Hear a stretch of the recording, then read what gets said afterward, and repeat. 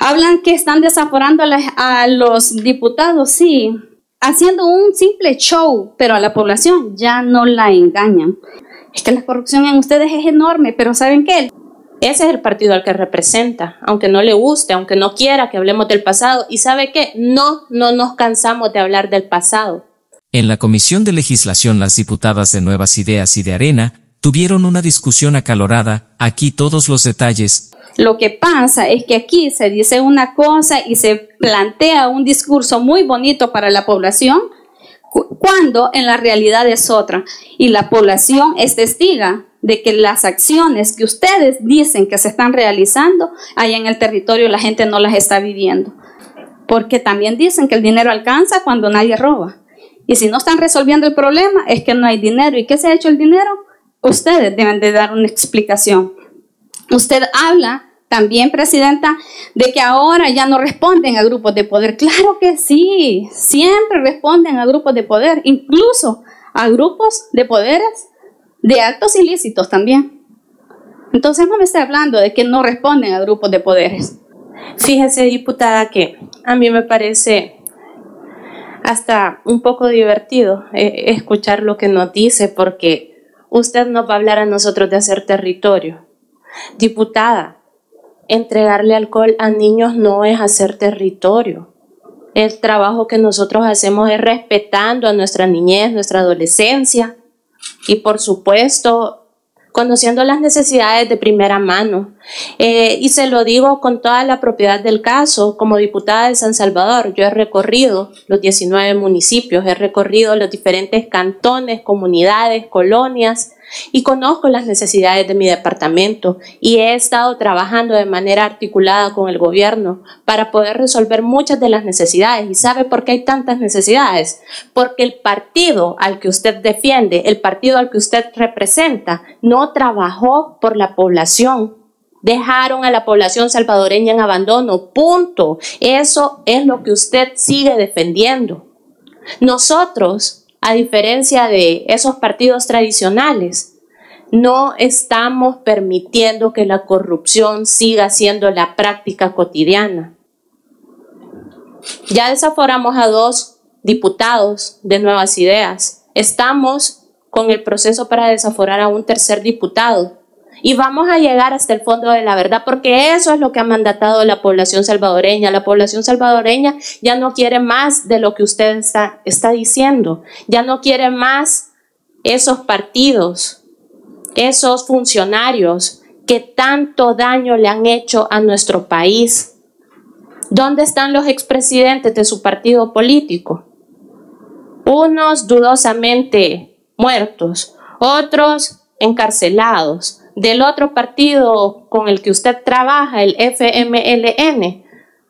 ¿Dónde están? Allá dicen que son nicaragüenses. Entonces, ¿con qué solvencia vienen a cuestionar el trabajo que ahora sí se está haciendo por la población salvadoreña?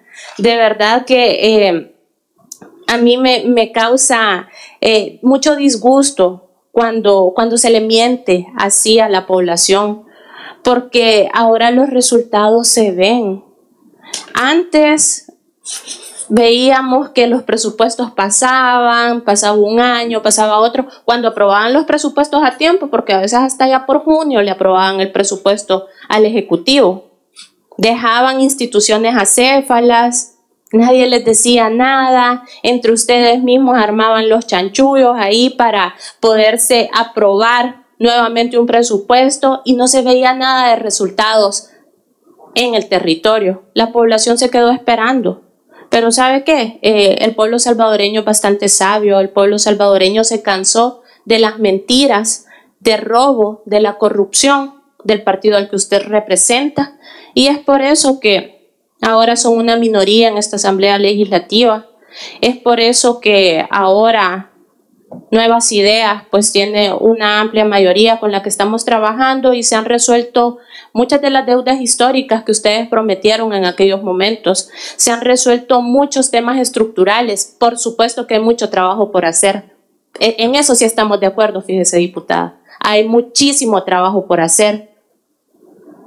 Pero la población salvadoreña está clara. Los que están tanto acá en nuestro país como fuera de nuestro país están claros Y es por eso que estoy segura que en el 2024 van a haber un par de sorpresas para ustedes, pero también son momentos en los que se está cosechando todo lo que se sembró, toda esa corrupción, todo ese robo que ustedes impulsaron. Ustedes tejieron un sistema corrupto y querían que nosotros nos acopláramos a ese sistema corrupto, pues no.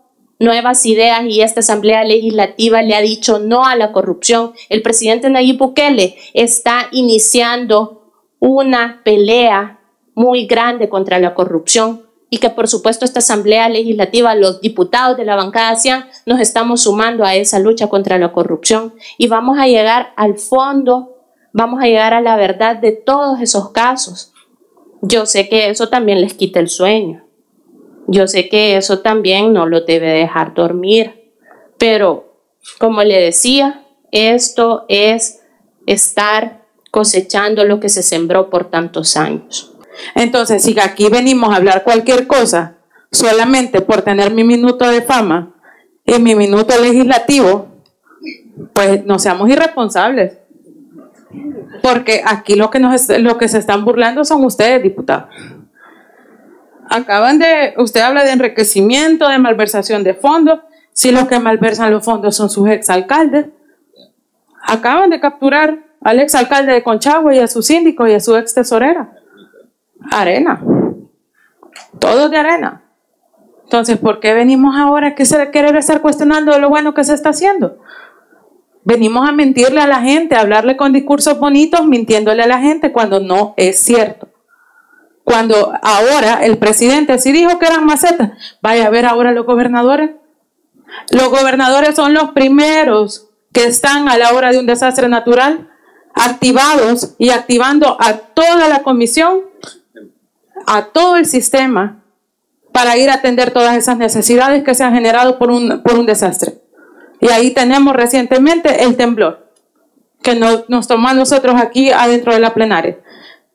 ¿Quiénes fueron los primeros que se activaron? Protección civil y gobernación. Entonces no vengamos a mentir, no vengamos a querer, a, querer nuestro minuto de fama porque la gente me tiene que ver que estoy trabajando porque ya viene la campaña porque lo que vienen a hacer es a mentirle a la población.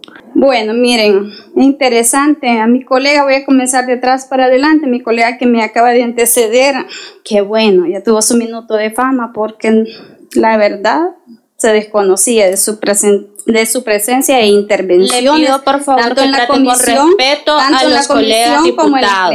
Le pido por favor que trate con eh, respeto a los colegas a lo siguiente, decirles que a mí no me hablen que ustedes están combatiendo la corrupción. Si ustedes tienen una cloaca de corrupción impresionante, tanto así que cuando comenzaron a develarse cuestiones de corrupción interna, la decisión que tomaron fue apresar al que iba a hablar, porque temían que le sacara todos los trapos al sol. Es que la corrupción en ustedes es enorme, pero ¿saben qué? El tiempo no va a dar la razón, porque el sol no se puede ocultar con un dedo. Hablan que están desaforando a, los diputados, sí, con una comisión creada por ustedes mismos, decidiendo por ustedes mismos, haciendo lo que el guion les manda que hagan y haciendo un simple show, pero a la población ya no la engañan. Acusando al, al diputado que van a desaforar por un delito que al final puede ser hasta excarcelable porque todos sabemos que el delito de falsedad ideológica tiene cárcel de 3 a 6 años, que se puede volver hasta excarcelable. Así que no, no nos hagan reír en esa acción que ustedes hablan de combatir la corrupción. Sí se suman a la, a la corrupción tanto que se les está descubriendo todo el nivel de corrupción que ustedes tienen ahí adentro. Y con el tema del pasado yo se los he dicho en varias ocasiones. Sigan hablando, ya llevan tres años legislativos casi cuatro en el Ejecutivo y siguen hablando de los 10, de los 20, los 30 años del pasado. Que no se cansan de hablar de lo mismo, que no se cansan de ser negligentes e incapaces y no cumplirle a la población, porque el que se vive quejando de los problemas del pasado y no resuelve los problemas del presente, que es su responsabilidad como funcionario, simplemente ser incapaz y no poder resolverlo. La camisa le quedó grande Si es que no se trata que como funcionarios van a estar hablando que no hizo nada el que estuvo hace 30 años, ¿por qué no hablan que no hizo nada el que estuvo antes de Cristo también? Y que fue problema también de Arena y del FMLN. Si no es el punto, resuelvan el problema ustedes que están ahorita. Los que están en el gobierno son ustedes, no somos nosotros. A mí me da igual que hablen de los 10 o los 20, los 30 años anteriores. Les vuelvo a repetir. Yo respondo por mi tiempo de legislatura. Yo no voy a responder por platos rotos del pasado.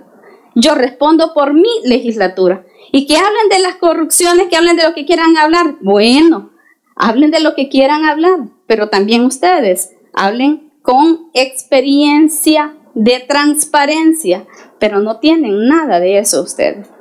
Ustedes lo que tienen es peor corrupción que los del pasado. Ustedes critican a los del pasado y están actuando igual o peor que los del pasado.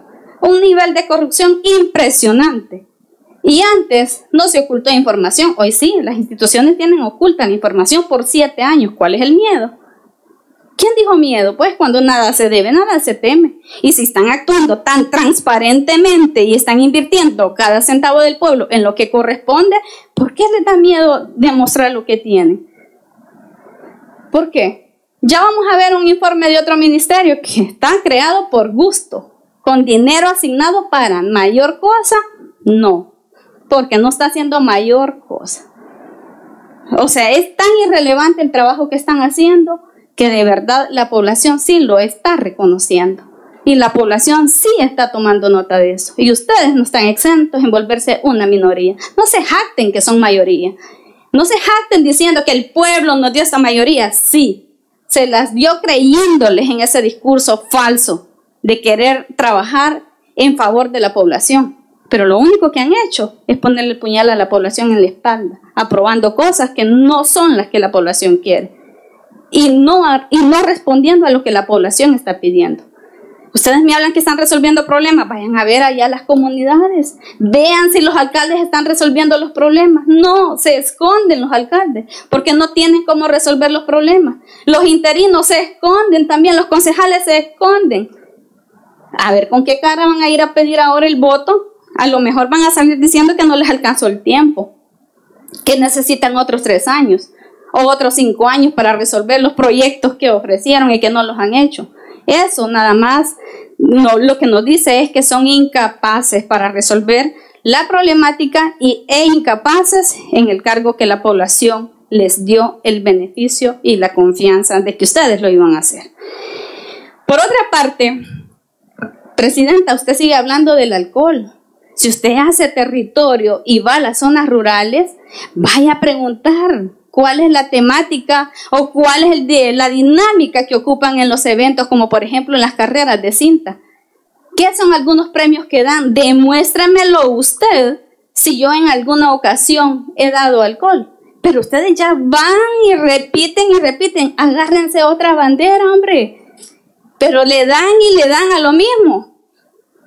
Yo al colega que aquí está, que no ha intervenido, pero en una ocasión también hizo lo mismo, de señalarme por lo mismo, lo reté y lo vuelvo a retar a ustedes. Vamos al territorio, vamos al lugar donde se dio el incidente, donde colegas mentirosos, colegas de ustedes mentirosos y difamatorios, salieron diciendo cosas que no eran. Los retaron los padres de familia del menor, los organizadores y los habitantes de la comunidad que llegaran a la comunidad a decir lo que andaban diciendo, pero no son capaces de hacerlo porque les gusta nomás hablar a espalda. Son unos grandes mentirosos, pero la población ya los conoce. Y si eso fuera cierto, y si eso fuera cierto, no es así, pero si fuera cierto, imagínense, el alcohol no muchos, quizás de los que están aquí presentes, lo consumen en vía pública. Pero entre ustedes hay colegas que no solo distribuyen alcohol, sino otras sustancias ilegales también. ¿Y por qué esos no los cuestionan? De eso se hacen los de los opachos, ¿verdad? Se hacen calladitos y les da risa. Cuestionenlos a ellos también, denúncienlos, procesenlos. Y entonces me van a demostrar que sí están actuando con la verdad y que sí quieren hacer las cosas bien. Pero el tiempo se les está terminando. Conocer una iniciativa para empezar un proceso de desafuero contra un diputado de Nuevas Ideas. El partido al que usted representa no votó. Tampoco propuso un miembro para formar parte de esa comisión. O sea, eh, ¿qué podemos interpretar? ¿Qué puede interpretar la población salvadoreña de ese tipo de acciones? Le tienen miedo a ese tipo de procesos porque saben que los siguientes pueden ser ustedes porque saben que están tapando la corrupción, porque saben que eso es lo que han venido haciendo durante muchos años. Habla de eh, gestiones municipales estrellas, pues aquí tenemos una. Capturan a exalcalde y ex concejales de Conchagua por corrupción. Yo ahí veo la bandera del partido al que usted representa. Porque acá todos llegamos por un partido político.